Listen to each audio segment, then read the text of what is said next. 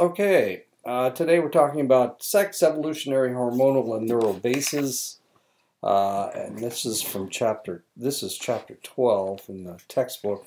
I hope it's still chapter 12. Uh, anyway, okay, here we go. Uh, don't forget you've got a paper due. It can be on anything, um, anything in the text. So that, that covers just about everything. It's a fairly general uh, idea, or it's a it's a fairly general text. It covers 17 different areas of psychology, so uh, that that includes just about anything. So it's due on the uh, at the beginning of November. Uh, you've got a couple weeks left until election day. That I think it's probably due on election day or the day before election day. Election day is the third. I hope everybody votes. Vote any way you like whatever you think is best. Uh, one of the reasons that uh, you have such a difficult time getting the uh, federal government to acknowledge uh, your needs is the fact that uh, American Indians vote uh, at, at, a very low level. If you voted more frequently, if they if you voted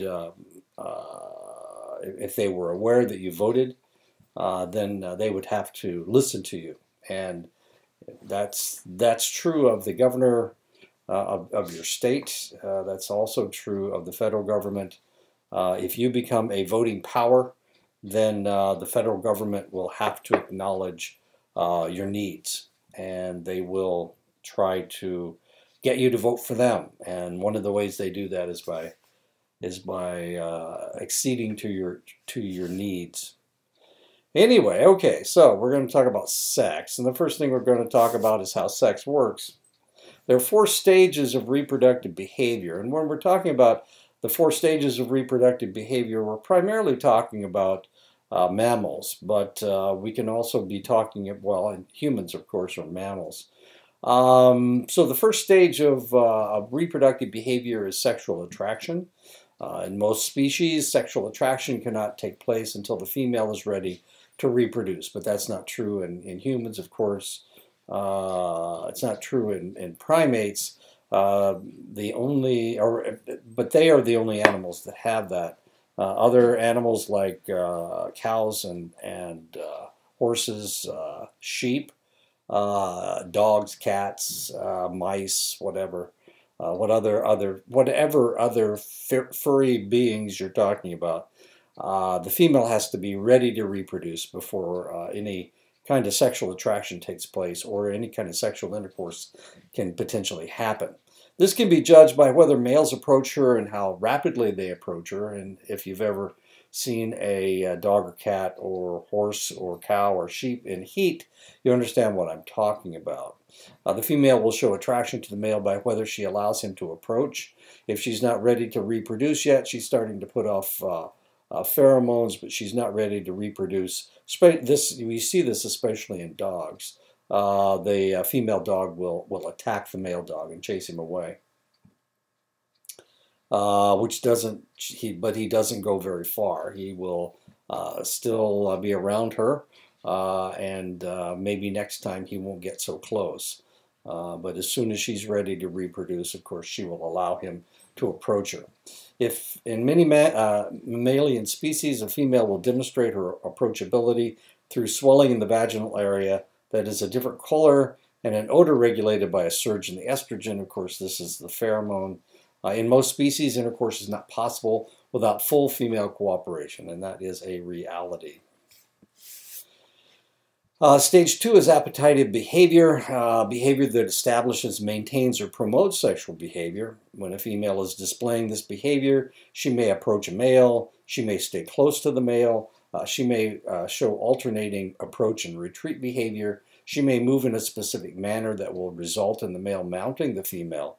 This is known as proceptive uh, behavior. Male appetitive behavior uh, may consist of staying near and sniffing the female, uh, weird thing happened to me uh, when I was in Germany. Uh, I went. we were we were in Frankfurt, and everybody else went to the sex shows. but instead of going to the sex shows, I didn't figure I needed to see two people having two humans having sexual intercourse. I went to the I went to the, the zoo instead. Well, lucky me, the primates were were uh, were uh, reproducing, and it was baboons uh, in this case. And it was really kind of interesting because uh, the females were ready to reproduce, and the male would stand there and uh, they would walk around him and he would grab them and, and he would mount them. Uh, there wasn't much mounting going on. It was, uh, he just pulled them toward him. Uh, it was really kind of the oddest thing that you've ever seen. He'd pump them a couple times and throw them off. And then they would just keep walking around, and there were five, four or five females. The Germans just went crazy about this because they didn't have to pay for it, I guess. Anyway, the place was packed watching these baboons uh, reproduce. It was really the oddest thing in the world, but it was proceptive behavior. The uh, uh, the females were approaching the males, um, and they just kept walking around him, and he would grab one of them, and and uh, of course they were receptive. It's not like he was doing anything they didn't want him to do, uh, and he would uh, he would breed with them. Male appetite and behavior. Okay, we already talked about that. Copulation or coitus, and of course uh, they were having coitus. Um, they were copulating. Uh, copulation begins when the male puts his penis in the female's vagina, an act known as intromission. Uh, that's what was going on with the uh, with the male and female baboons. Through rhythmic movements, uh, the male will then squirt sperm-filled semen into the female's reproductive tract. Uh, he, like I said, he was just he was moving them back back and forth a couple times, and then he was throwing, he was kind of pushing them off. Um, I guess it only took that that many times, and there were, like I said, there were four or five different females, and he bred all of them uh, two or three times in turn. He didn't breed the same one more than uh, you know right after the right after he had already had intercourse with them. It's really kind of kind of an odd to watch these animals kind of walking around making figure eights around the male. It was really kind of weird. After copulation, the two will go through a period when they will not be able to re-engage in intercourse. This is known as a refractory phase. However, a male presented with uh, another female uh, will show a shorter refractory phase. This is called a Coolidge effect, and that's what was going on with the uh, male baboon. Uh, since he was being approached by other females, he was able to uh, reproduce with that second or third or fourth or fifth female. Uh, where, where the Coolidge effect came from, it came from Calvin Coolidge. Uh, he was president of the United States in, in the 20s. Um, he was uh, he went to a farm. he went to a chicken farm, and uh, while he was there, there he was watching a rooster breeding with hens.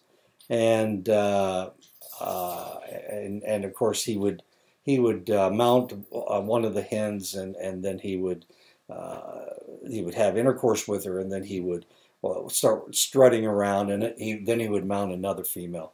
And Mrs. Coolidge said to Calvin she said look see see how he does that and Calvin said, Yeah, well, if I had my choice of all these hens, I, I, I could do that too. And it was a big joke, and it got into the newspapers, and everybody laughed because it had to do with animal husbandry. And, and uh, I, anyway, it, uh, it became known as the Coolidge effect, where a male can have intercourse with uh, a second or third female, and their refractory phase is much shorter.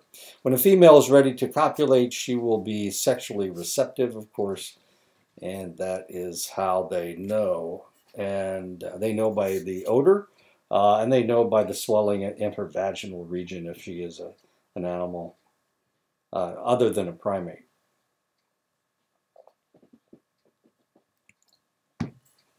Postcopulatory behavior is stage four. This is different in most species.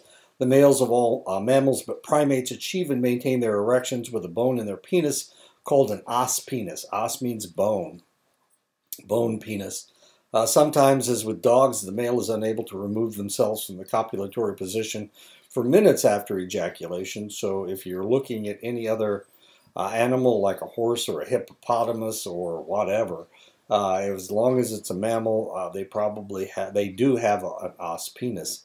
Uh, the animal with the largest uh, bone in their penis is the walrus.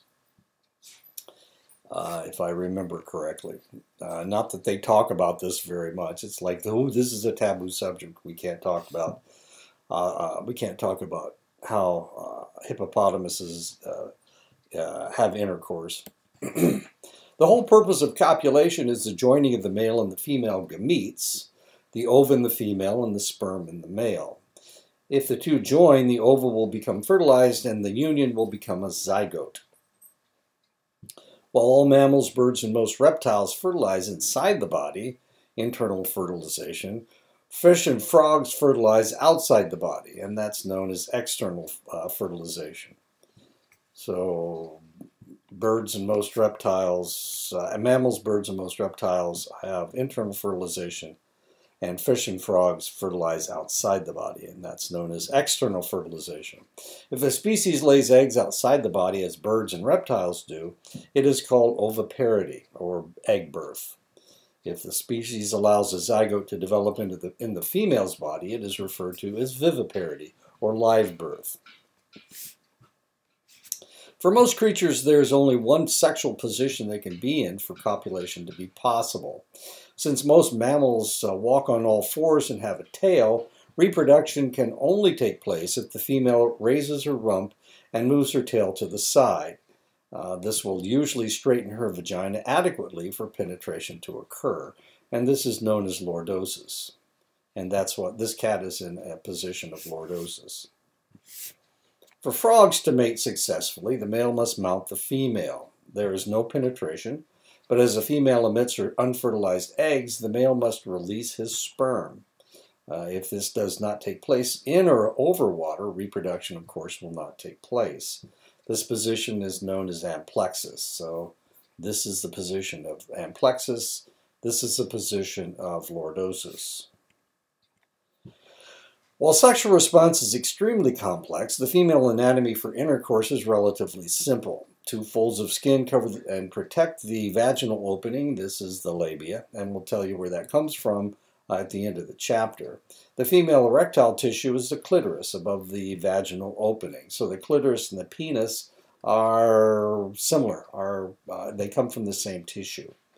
Uh, they are the erectile tissue. So the clitoris on the female and the penis of the male.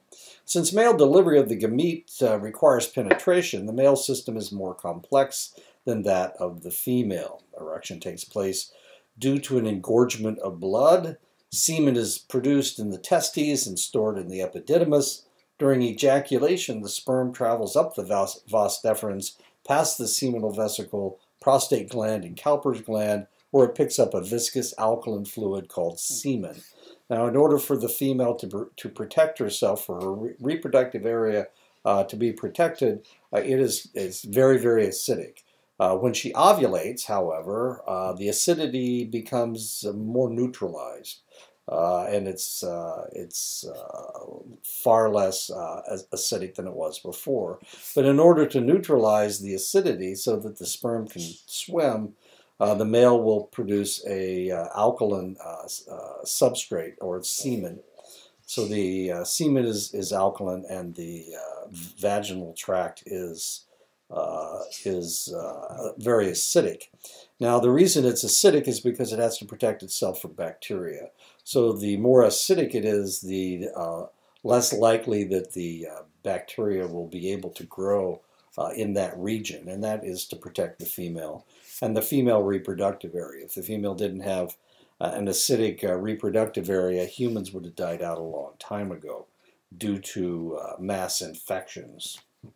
Normally, the male is not erect because cells in the glands of the penis, the paragigantocellular nucleus, send serotonergic fibers down the spinal cord that inhibit erection.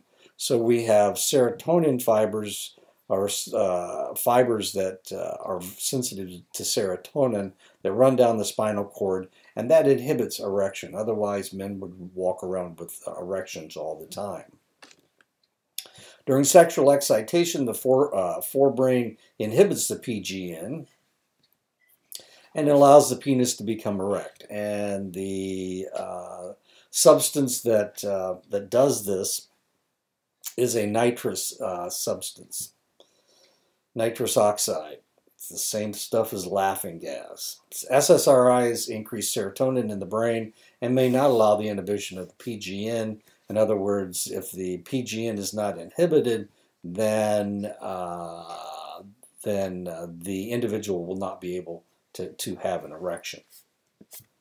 While there is no normal or typical when it comes to sexual response, too many social and psychological factors, including taboos that you guys have, taboos that the people in the United States have that other people don't have. We're going to be talking about another group, uh, a, uh, tribe in Africa, uh, who uh, the females are, until they get married, they can be as sexually promiscuous as they want, and it's not seen as anything negative. So it all has to do with uh, social and psychological factors that control uh, individuals' behavior. Uh, it was the same way on the Hawaiian Islands. Uh, the females on the Hawaiian Islands were not, uh, their sexuality was not regulated, and therefore they, they could do whatever they wanted to do. Uh, and, and that was their society. That was that was the way that they were raised, and that's one of the reasons. Well, the the, the hula and, and some of the other uh, dances that the uh, that the Hawaiian native Hawaiians uh, engaged in were, were very provocative. They were very um, uh, seductive, and the, one of the reasons was because uh, they don't have the same taboos that we have. But of course.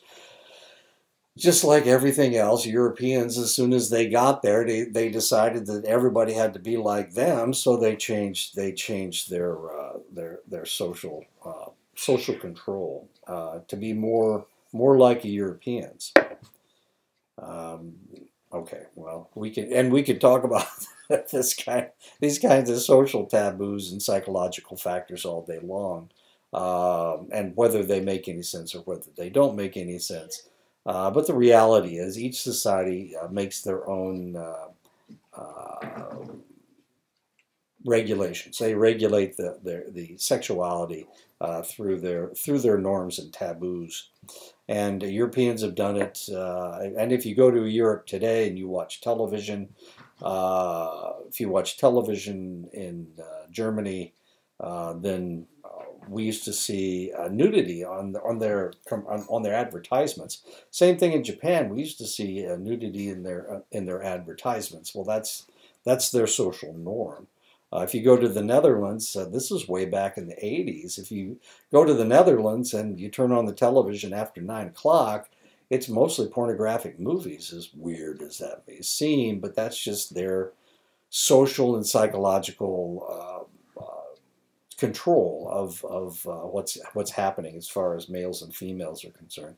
I already told you that uh, in Germany, Thursday night is nude swimming at the, at the Schwimmbad, the the heated pool. Uh, and after World War II, uh, one of the things that they did, they re, they rebuilt all the, the, the towns, and usually they made a community center, and it had a a swimming pool in it. And uh, of course, there's public swimming every day. I think there is every day, but Thursday was the day that if you wanted to to swim nude, that you could swim nude in Germany, which was a little odd for Americans. Um, uh, and Americans could go. I mean, it really didn't mean anything.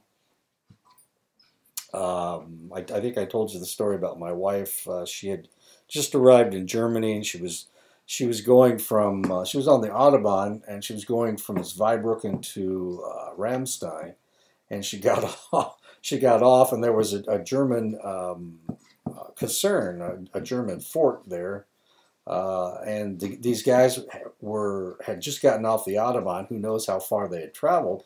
But they, they were they were in a troop troop uh, truck, and they all piled out, and they start. And then they all urinated on the side of the, the road, and you know they just kind of did it. And of course, that wouldn't be accept, accept, acceptable in the United States to see a whole raft of men urinating into the ditch uh, certainly wouldn't be uh, acceptable in, uh, in, on the uh, Navajo Nation uh, for somebody to do something like that. That would be that would be going against your taboos. Uh, what are we talking about? Well, there is no normal or typical when it comes to sexual response. Women achieve vaginal lubrication during the excitement phase. Males have a smaller amount of lubricating exudate uh, during erection to ease penetration. Uh, males typically have uh, one basic pattern of response, but they do, do pass through a refractory phase after orgasm when erection is difficult. Females, however, rarely have a refractory phase, thus, um, thus multiple orgasms uh, are possible, uh, but they have three typical patterns of response. And these are the three typical patterns, A, B, and C.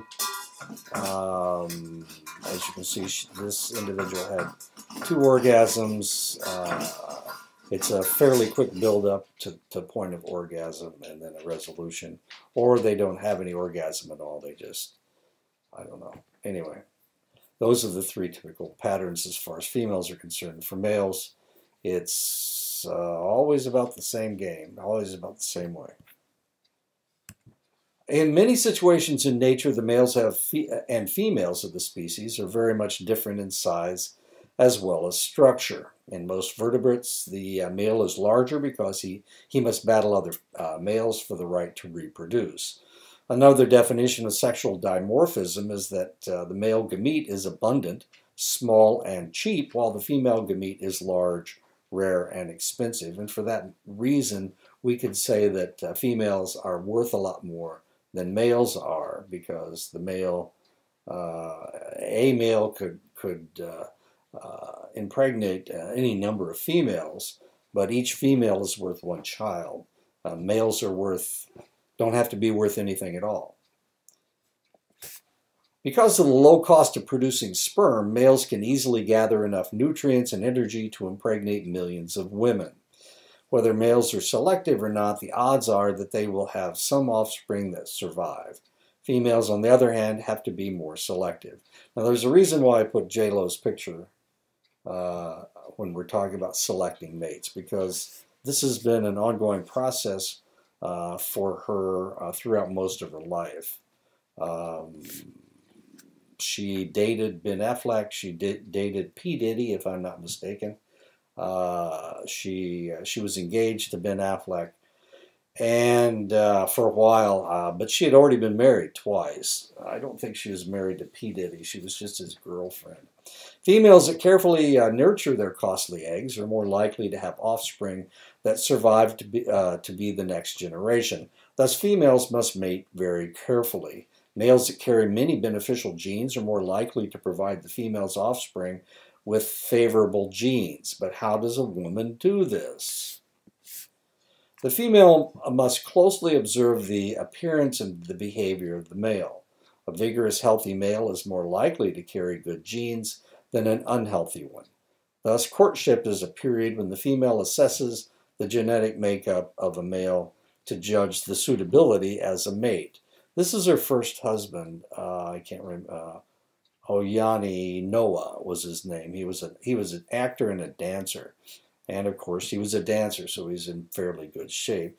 This is her second husband. Her second husband uh, was named Judd. Chris Judd was his name. He was a Australian football uh, Australian rules football player, so he was in pretty good physical condition. Her third husband and the individual that she reproduced with was Marc Anthony. As you can see, he's shorter than she is. Uh, he was a Puerto Rican singer. Uh, I don't think he was Puerto Rican, but Marc Anthony was Puerto Rican. He's Australian, and I don't know what nationality Noa is. She is currently dating uh, A-Rod. Uh, Alex Rodriguez uh, used to play baseball. Uh, she's too old to reproduce. Well, she's probably uh, she's probably too old to reproduce. She's 51 years old now, but she is uh, in a extended relationship with with Alex Rodriguez. They've been dating for three years now. You you wonder why in the world do I care about J Lo? I was just, you know, it's just really kind of curious that she's really picky when it comes to males, and she seems to always select um, the cream of the crop, I guess. I, except, I guess you could say, Marc Anthony. Marc Anthony was her friend. It was her friend. And she claimed that she broke her heart. Uh, ben Affleck broke her heart and so she she uh, married uh, Marc Anthony.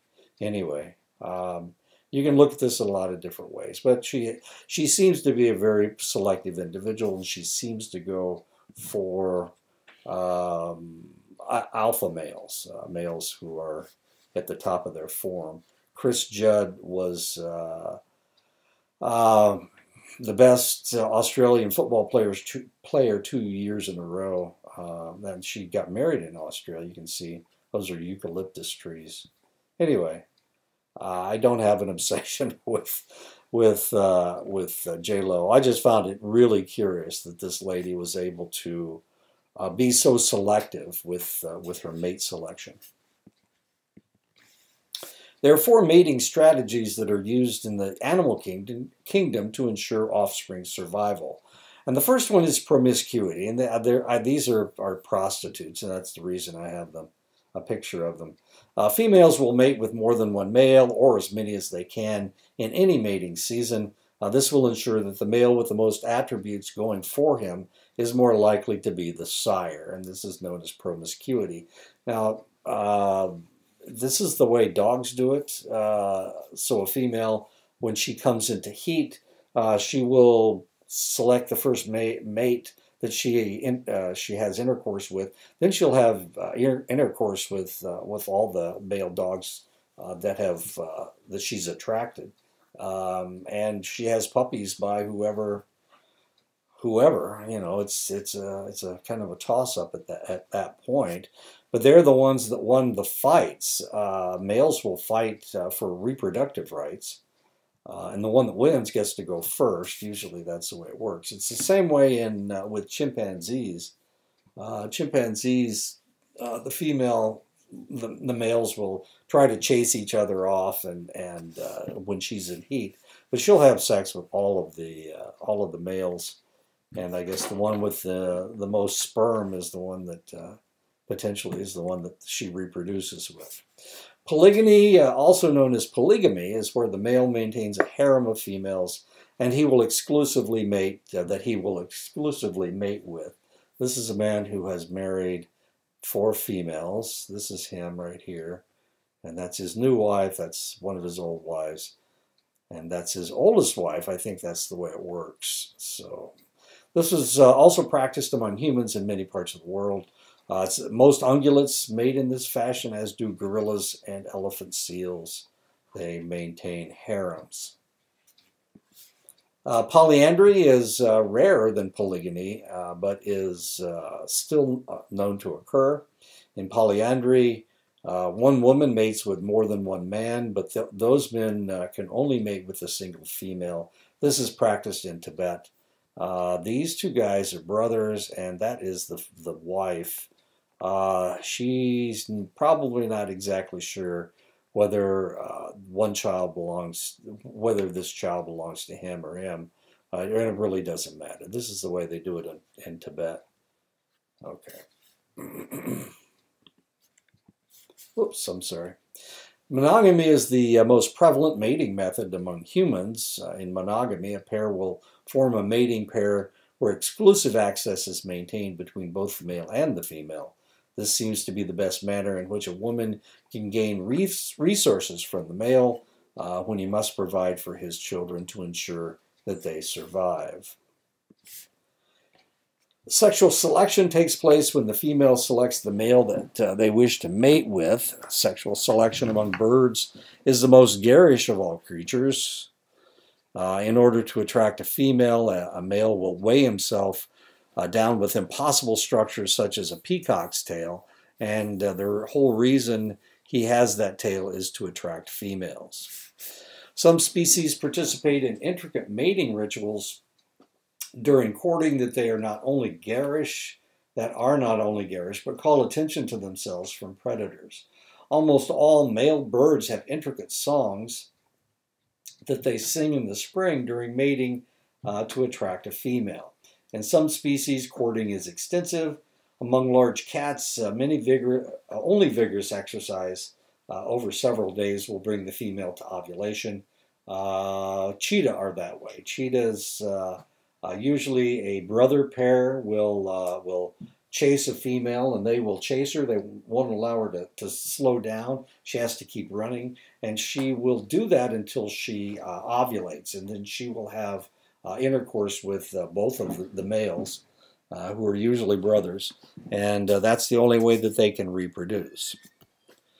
The Wodaabe males of Niger uh, trying to charm females with eye movements and makeup. This is what the Wodaabe look like. I'm going to show you a a video right now dealing with the Wodaabe. And this is how the men sing and sway to gain attention. They flutter their cheeks, cross and roll their eyes, and grin. Whites of eyes and teeth are considered particularly beautiful. A man who can roll one eye and grin at the same time is considered especially desirable. The Gerewol bring two different Wodaabe lineages together, allowing each clan to propagate. Parents arrange first marriages at birth, and only cousins of the same lineage may marry. After that, they may seek a partner from another lineage. Mo Reube works his charm on Mariam Moore.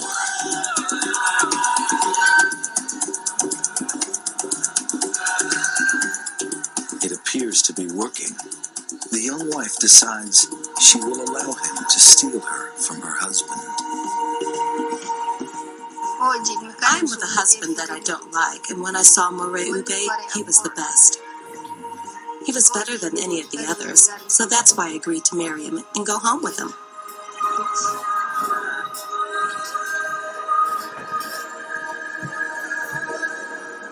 A Wodaabe woman can't be taken against her will. Though what More Ube is about to do in the name of love can still have fatal consequences. If they get caught en route, then the husband has the right to require her to come back. If she disagrees, doesn't want to go back, there can often be a fight, and it can be uh, to the death.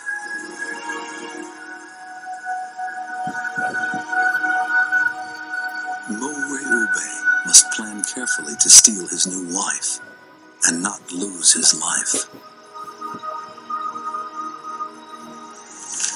I go to see the girl and I explain to her that I want her. And if she says that she wants me, then I look for her husband. If he doesn't see me, I sneak up on the ground. If she accepts, I say come and look around. If I hear somebody coming, I hide. The moment of truth arrives. Under cover of darkness, More Ube heads toward Mariam Moore's camp, not knowing if he will be greeted by her husband's sword. The ideal is if she makes it all the way to the new husband's house without being caught, and then she has the full right to stay. The new day will reveal whether More Ube's dangerous gamble pays off. The Wodaabe are nomadic. They travel the desert and its fringes in extended family groups. This Gerewol is an opportunity to mix between those groups and widen the gene pool for each clan. The men can have many wives, but when a Wodaabe woman becomes pregnant, she will return to her mother's home, where she will remain for three or four years. During that time, she must not see or speak with her husband, and he is free to gather more wives.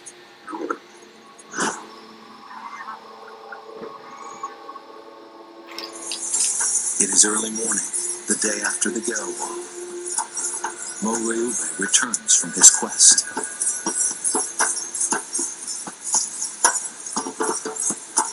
Last night, the game of love went his way.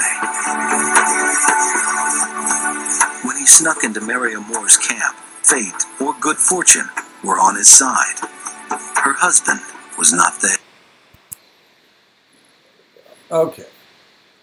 Uh, so that's the way the Wodaabe do it. Uh, whoops, wait a minute. what in the world is happening? Okay. Uh, let's see. Let's see how the Maasai attract uh, uh, mates.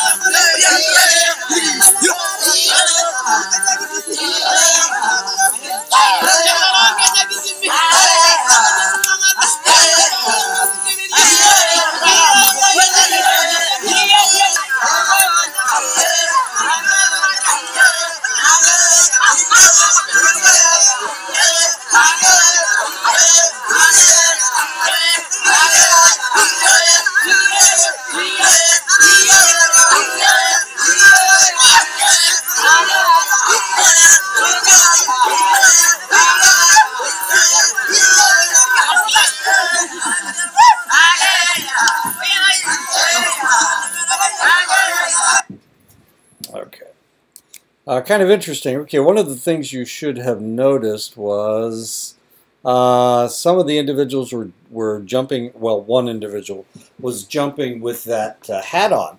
Uh, that is a lion's mane, uh, and the reason he was able to, to jump with that was because he had killed a lion. Uh, if you have killed a lion, of course, you can put that thing on your head. Now, the idea is that um, the individual that can jump the highest is considered the most uh, uh, attractive uh, of the males. And so that's what they were doing. They were having a jumping contest. And of course, the guy with the, uh, the lion's mane uh, is, is a step ahead of everybody else because he has killed a lion and, uh, and made a, a hat out of the lion's mane. and that's how the Maasai choose their mates. Wodaabe, of course, has to do with how pretty they are and whether they can move their eyes independently uh, and how beautiful their teeth are, as weird as that is. And this is what uh, Wodaabe women look like. If I can get this thing to work, I can't. Okay. Wodaabe women are up in the left-hand corner, and uh, the Maasai women are on the on the right, uh, on the bottom. Uh, and and you may have seen those. They weren't really supposed to photograph the women uh, which was kind of kind of a curiosity. Uh, but they weren't supposed to photograph them, uh, but you saw them uh, a little bit anyway. Uh, the Wodaabes, of course, are a little bit different. Both the Maasai and the Wodaabe are Muslim. Uh, sexual differentiation takes place among most humans while still in the womb. the sperm carries either carries a male or female chromosome, all ova are female. So if it were up to females, all babies would be female babies because that is the only chromosome that they produce. Uh, thus, males are a heterogametic uh, sex because of the two different chromosomes, X or Y, while females are homogametic, uh, they only have X's, uh, X chromosomes. Very early in the development, the gonads are not differentiated, and this is, of course, known as indifferent uh, gonads at this stage. In mammals, the uh, Y chromosome contains an SRY gene uh, that is responsible for the development of the testes. Uh, the SRY gene is really kind of interesting because in other mammals, uh, other than humans, it is spelled S uh, lowercase r lowercase y, but in humans, they're all capital letters. If the individual has a Y chromosome, the cells of the indifferent gonads begin uh, making uh, SRY protein. The SRY protein causes the core of the cells to proliferate o- uh, over the outer layer of the cells, and the gonad becomes a testis. And that's what males look like. Just kidding, not all males look like that. Anyway. If the individual has no Y chromosome, no uh, SRY protein is produced, and the indifferent gonads form with the outer layer dominant and the inner core is inhibited. As the fetus begins to form, they develop two ducts that connect the indifferent gonads to the cell wall, the Wolffian duct and the Mullerian duct. duct. If bathed in testosterone from the testes, the Wolffian duct will develop. If not, the Mullerian duct will develop. If SRY protein is released, released by the Y chromosome, the gonads become testis, testes and bathe the area in testosterone. The Wolffian duct develops into the vas deferens, the epididymis, and the seminal vesicle. The Mullerian duct disappears. That is, if they are a male. Mullerian duct disappears, Wolffian duct becomes uh, some of the sexual uh, reproductive areas of the male. The genital tubercle uh, becomes a penis, and the genital fold becomes a scrotum. If both the chromosomes are X's, the gonads uh, become ovaries.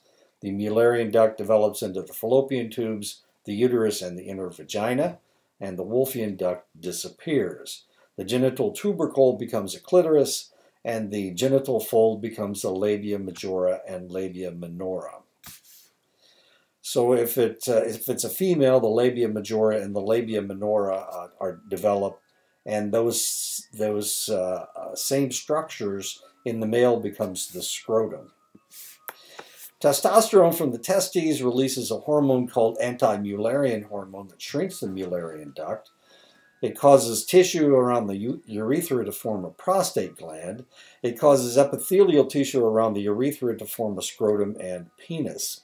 The epithelial uh, cells have 5-alpha reductase, which converts uh, testosterone to dihydrotestosterone, which allows masculinization.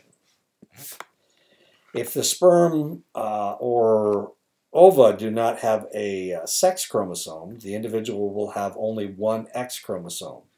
Uh, this individual has Turner syndrome, and it will she will be a female. Uh, she'll have short stature and not develop secondary sexual characteristics.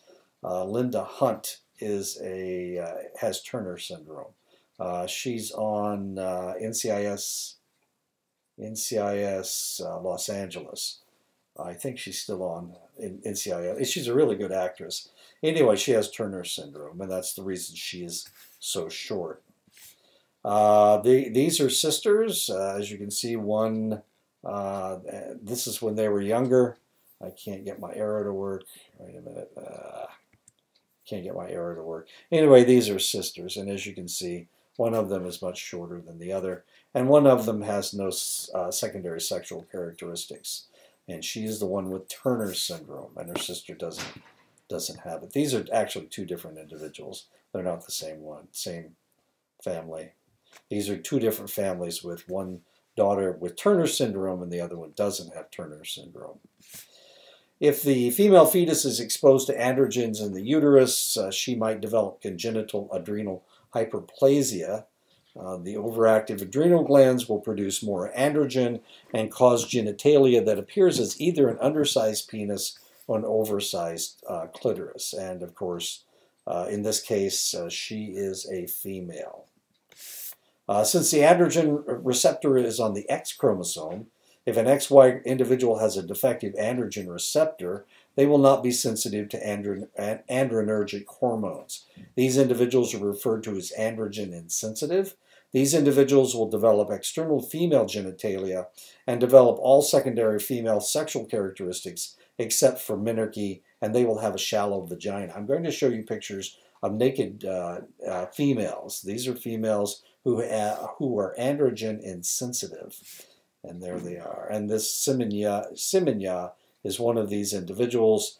That's why she she is actually a she, uh, but she um, has a lot of testosterone that she has developed, as weird as that is.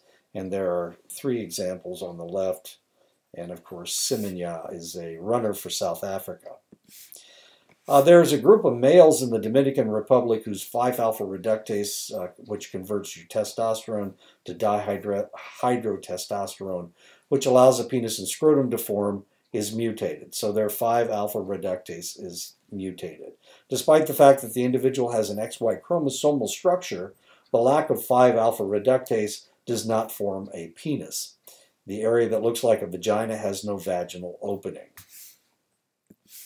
Because they do, do have testes with puberty, their bodies are bathed in testosterone and their penis develops, their hips narrow, and their build turns obviously masculine. These individuals who were raised and acted like females suddenly begin looking and acting like males. Most of them will become males, but some of them will choose to become female or stay, stay female. And here are pictures of, I think it's the same individual. Uh, there they are. At 18 months, you can see that they look like a female up through age 12, and at age 12, uh, they develop uh, testes, and the testes will uh, make them into a male. They will bathe them in male, and they will become male. And here's a picture of an individual that chose to stay female, even though that she has um, breasts and her, her, hips are very similar to a female. She uh, is, has a, a, penis and a, and a scrotum. And here's an individual that also chose to be a female, but as, uh, of course, as she changed, uh, she was bathed in, uh, in testosterone, and now it looks like she's on steroids which in essence she is. She's actually, and as you can see, she's um, she has the musculature of a male, but she is uh, looks more like a female. Well, she chose to to look like a female. Here's an individual. The individual on the left is an individual that's guevedoces. Guavadoces means eggs at 12 is what it means. There is the individual. Uh, look like a look like a female, and there's what the individual looks like as a as they uh, developed. Later on, they he uh, grew uh, testicles and uh, a penis, and he decided decided to be a, a, male. As weird as that is, anyway. So there are some strange mutations out there. Turner syndrome, um, where the individual is, is insensitive to androgen. Uh, and also the uh, the guevedoces uh, the individuals who do not develop, um, who, who don't start developing as males until they're 12 years old. And that is, should be the end of yeah, that's the end of the chapter. Okay, so uh, that's it. Sorry about all the nudity. I thought you might be interested in uh, what these individuals actually look like. I mean, we could talk about them, uh, but unless you can actually see pictures of what we're talking about, uh, then you don't really understand what's going on. Okay, that is the end of chapter 12. Next week we will tackle chapter 13. And I'll see you next week. Uh, next week is what? The 10th week? Is that right? Yeah, next next week is the 10th week.